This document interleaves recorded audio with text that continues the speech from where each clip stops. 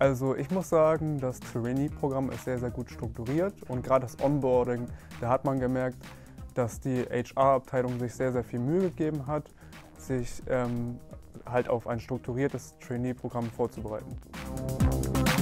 Ein Hauptgrund, warum ich mich für Damovo entschieden habe, ich muss sagen, so nette Kollegen hatte ich bisher in meinen Tätigkeiten noch nicht.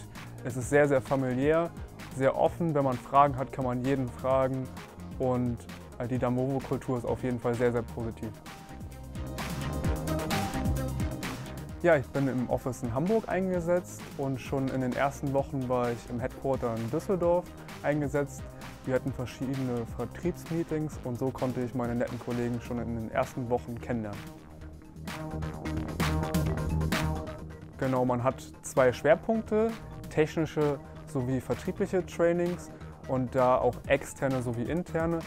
Und ich bin auch häufiger mit äh, erfahrenen Account Managern beim Kunden, sodass ich schnell sehr, sehr gut in die Prozesse einfinde.